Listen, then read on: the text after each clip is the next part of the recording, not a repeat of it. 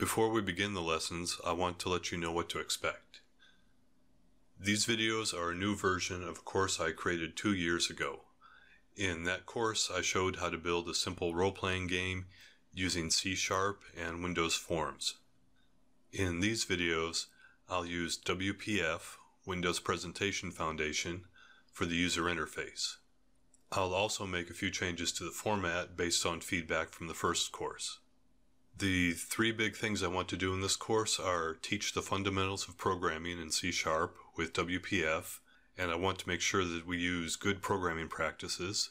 I want to use an edited live stream format so that way I can talk through why I'm doing things and you can get an idea of how a programmer thinks when they build a program. And I also want to create an open source RPG engine at the end that everybody can use.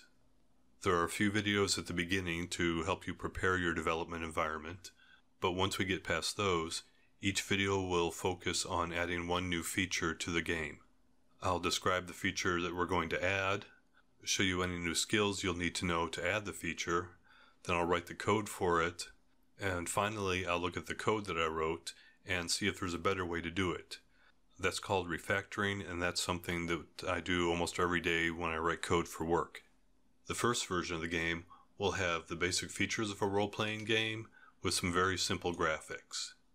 I have a long list of features that we can add after we finish the first version, and I'd also like to clean up the graphics, maybe make it uh, Japanese RPG style.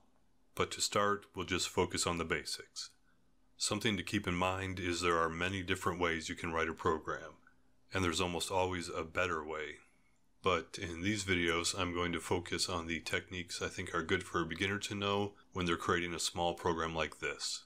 I will use a few intermediate techniques because I want you to develop good programming habits from the start. If you ever have a question about a video, please leave a comment so I can answer it for you.